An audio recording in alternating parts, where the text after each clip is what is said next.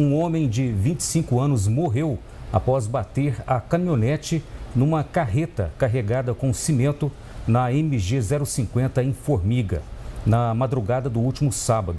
Segundo a Polícia Militar Rodoviária, o jovem trafegava sentido Pimenta Formiga, na contramão de direção, quando bateu a caminhonete de frente com a carreta.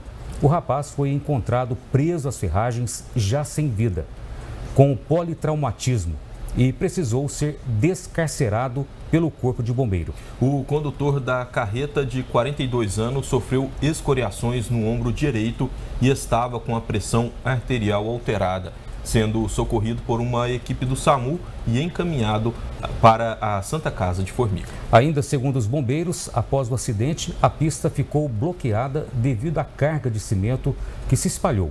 Foi necessário realizar o sistema de pare e siga para o trânsito fluir no local. A carreta foi liberada e a caminhonete foi removida por não estar devidamente licenciada. A perícia técnica da Polícia Civil compareceu no local e realizou os trabalhos de praxe.